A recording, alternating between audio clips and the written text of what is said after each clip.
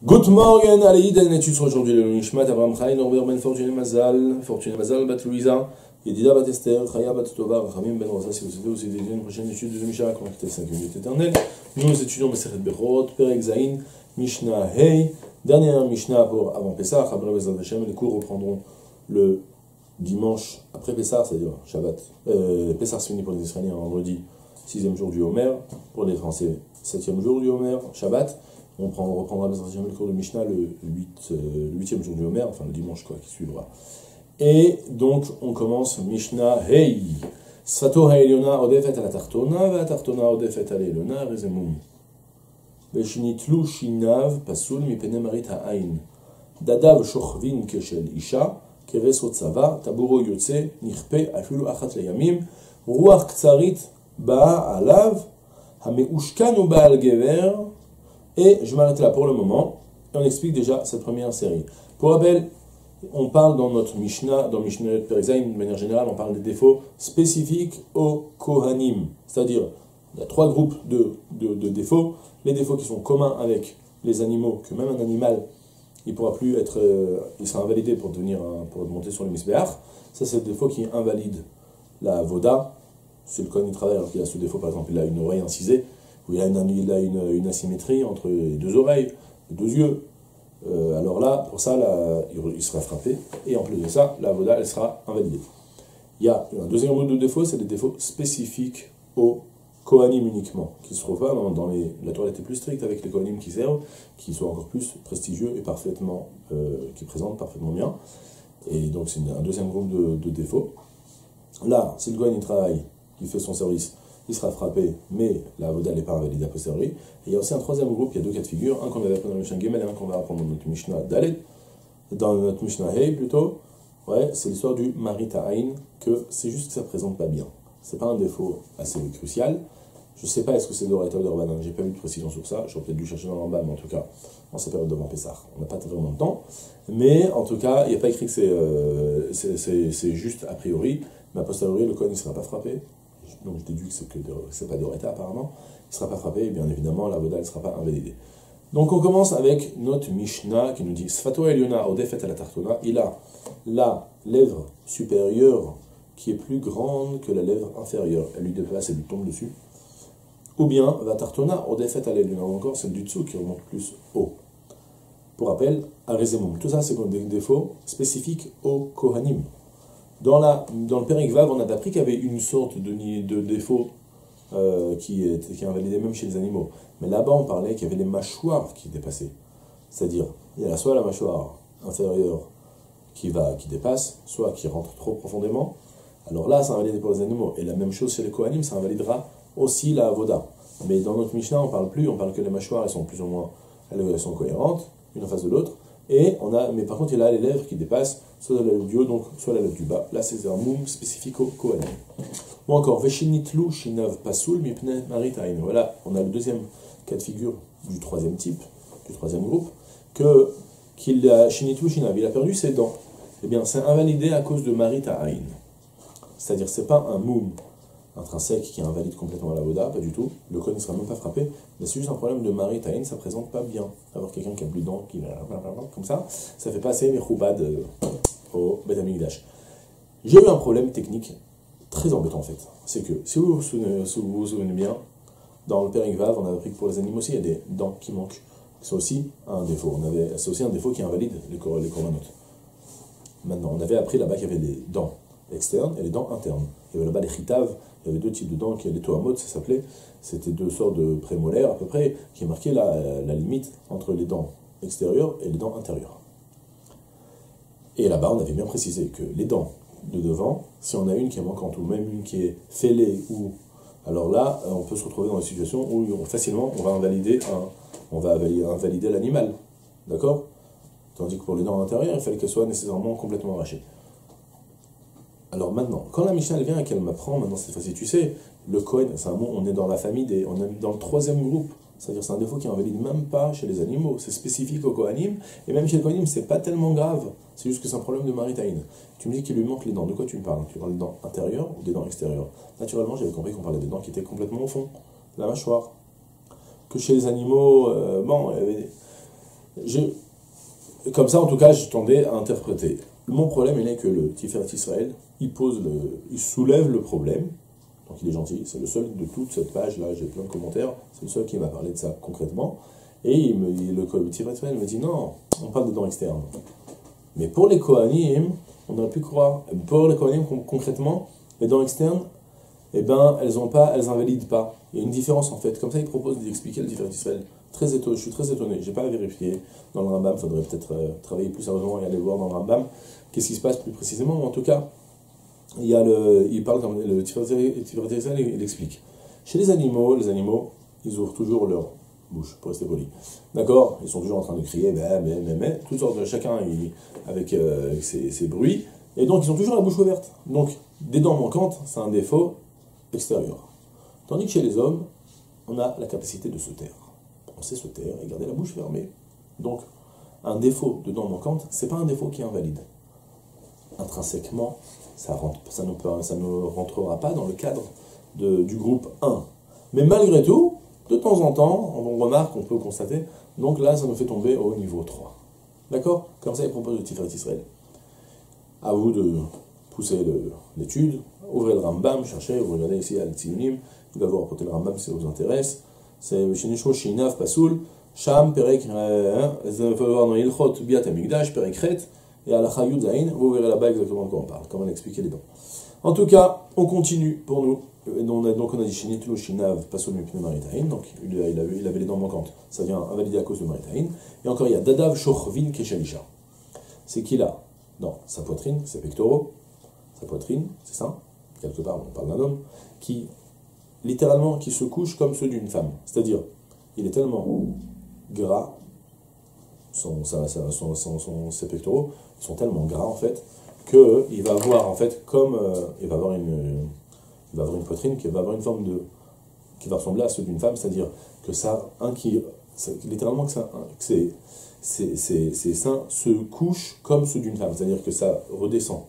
D'accord? Ça fait qu'il y a deux il y a deux, deux, je trouve pas le mot, deux pellicules, deux, on s'est compris. D'accord Deux couches.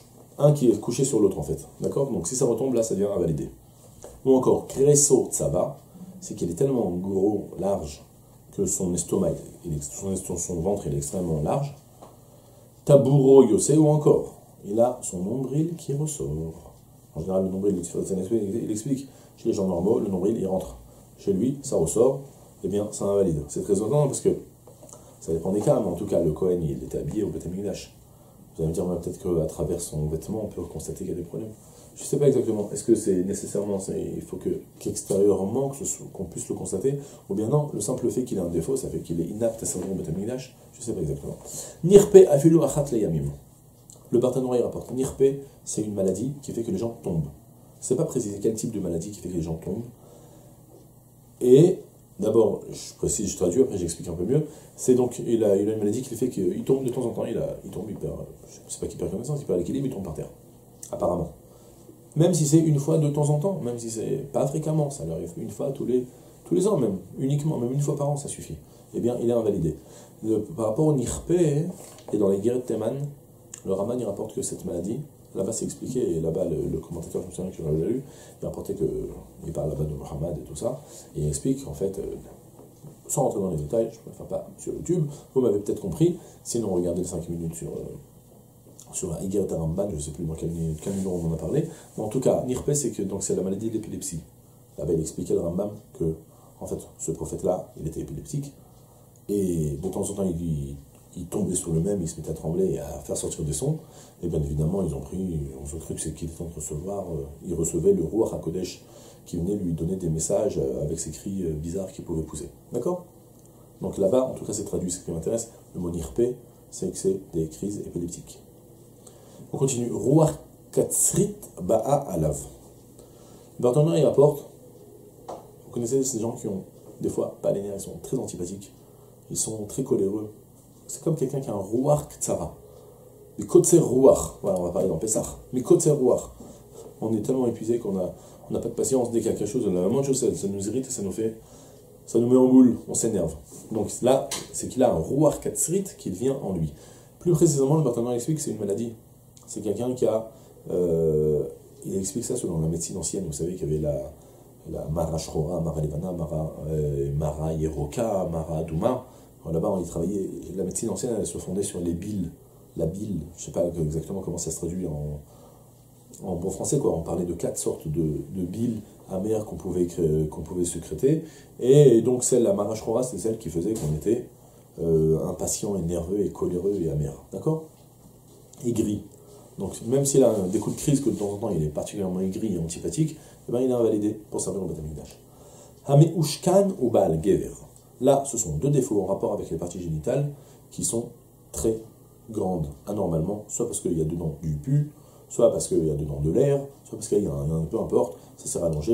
Alors le premier, Ameushkan, c'est qu'on parle de la poche des testicules, et Baal Gever, on parle du membre lui-même. Ensuite, on continue deuxième partie de la Mishnah qu'on n'a pas encore lu. Cette fois-ci, on va s'intéresser à un mot rapporté dans la Torah qui s'appelle le Meroach Asher. En. D'abord, je vous le, dans le Pasuk. Il y a, on est dans Parashat Emor, Pasuk, Chaf. Là-bas, la Torah explicite plusieurs, plusieurs défauts que vous connaissez en partie. Giben, ouais, parce que c'est la Gibenet, parce que c'est le Givinim. Odak, Odvalul Be'eno, Ogarav, Oyalefet, O Meroach Asher. Un des défauts mentionnés par la Torah, c'est Meroach Asher. Meroach Asher, c'est pas évident de savoir de quoi on parle exactement. il va y avoir quatre avis dans la Mishnah.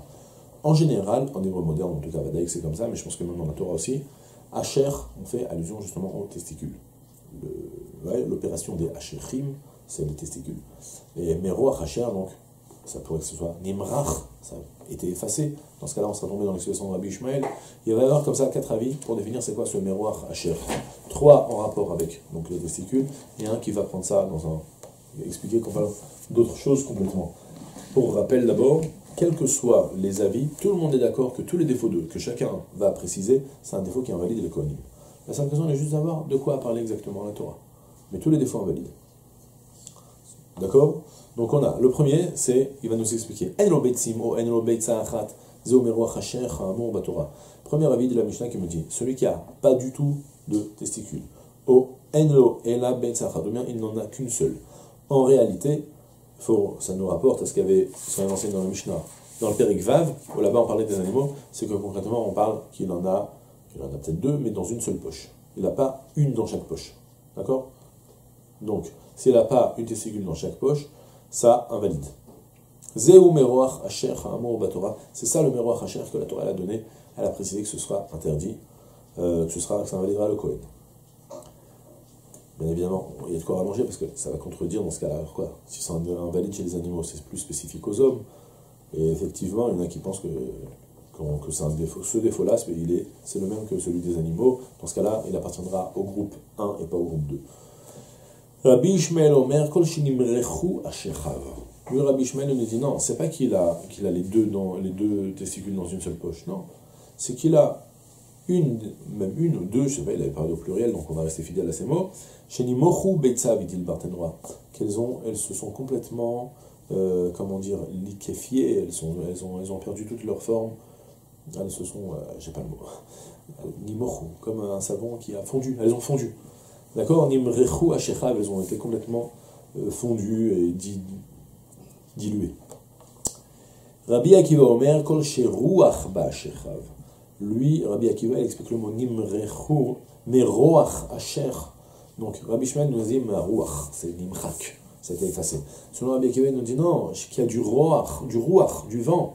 C'est qu'il y a eu, elles se sont, elles se sont gonflées d'air. D'accord?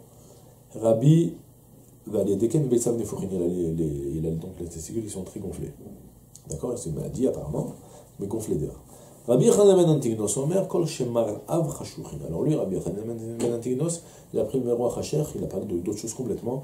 Il fait un jeu de mots Meroach Hacher, Mar'e Chashuch. C'est qu'en fait qu'il a un teint très euh, foncé, mat, basané. Il est presque, il précise tout ce que c'est pas la peine qu'il soit même qu'il ait un teint noir, même s'il a un teint très café très fort, eh bien, euh, il sera invalidé D'accord La couleur de peau aussi, ça invalidera, donc, selon cet avis. Et comme on a dit, la halakha, elle est établie comme tout le monde, parce que tous les avis proposés font office de loi. Juste la seule question est de savoir de quoi la Torah a parlé précisément dans ce mot. Et c'est tout pour aujourd'hui. Je vous souhaite un Pessar Kachar au et On a l'habitude de dire pas Pessah Kacher Sameach, mais Pessah Sameach Kacher. Pour Purim, on dit Purim Kacher Sameach, parce que Purim il est toujours Sameach. Le problème c'est de le faire Kacher. Et pour Pessah, en général, on dit plutôt Purim et Pessah Sameach. On s'est tellement fatigué pour le préparer qu'il ne faut pas oublier, dans un ce soir, d'arriver au Seder avec plein de pêche, avec plein de simcha, de raconter l'histoire au mieux aux enfants, mes Hashem, et qu'on fasse tous le plein de Emouna et Pessah Kacher Sameach. Donc on se retrouve, mes Hashem, le dimanche d'après Pessah. Kol Tuv Ser.